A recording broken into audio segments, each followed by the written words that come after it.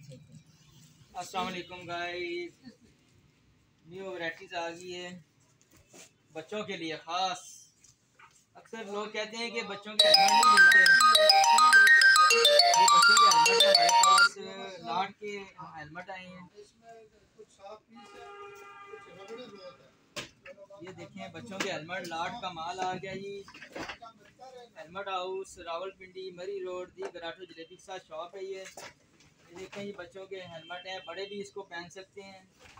खासकर ये बच्चों के लिए मंगाए अक्सर बच्चे हेलमेट हाउस पे आते हैं और कहते हैं, बच्चों के हेलमेट नहीं है, हमारे पास ये अवेलेबल है। ये आप चेक करें।